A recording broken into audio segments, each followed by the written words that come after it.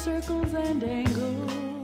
Today we're demonstrating non-contact magnetic encoders using two types of tunneling magnetoresistance sensors, AAT series angle sensors and AET series rotation sensors.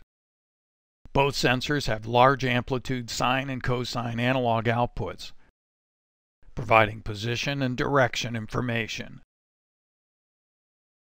AAT sensors are typically paired with inexpensive diametrically magnetized magnets.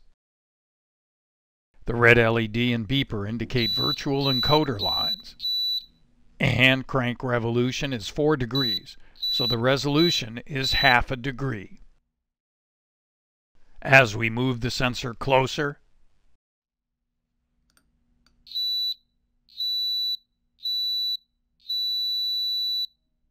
and farther away from the magnet, we see its exceptional range.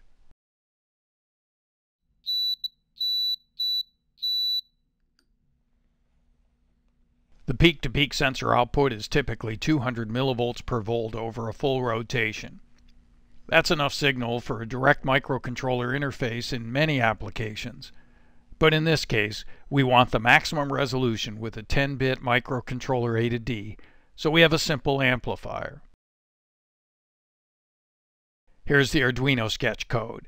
There's just one significant line where the microcontroller reads the sensor and calculates the angle. AET sensors are designed to be matched to multi-pole magnets for multiple cycles per revolution.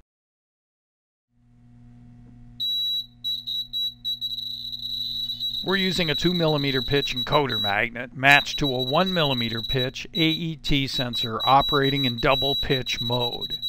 With the 1 and 360 interpolation, the resolution is a tenth of a degree. The spacing latitude is about a millimeter.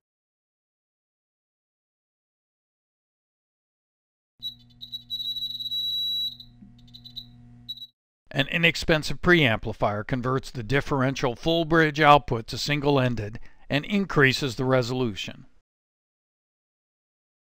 So to sum up, AAT sensors use inexpensive magnets to generate a rotating field. The sensor doesn't need to be matched to the magnet. They provide absolute position, and they accommodate wide variations in magnet spacing. AET sensors use multipole magnets for high resolution. Here are the main things we used in this demo. Click email or call us for more information or to order sensors and accessories.